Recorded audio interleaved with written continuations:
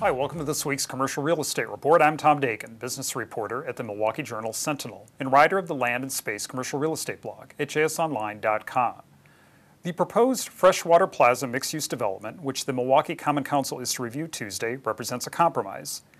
Mayor Tom Barrett's administration initially reserved the Walker's Point development site for an office building, clashing with neighborhood residents who wanted a supermarket. Under a plan recommended this week by a council committee, both projects will be built. But that story now includes a new sidelight the Barrett administration's efforts to keep an FBI office in Milwaukee and how that blocked the proposed grocery until an alternative office site surfaced on the city's far northwest side. For more on this story, look for an upcoming article in the Journal Sentinel and at jsonline.com.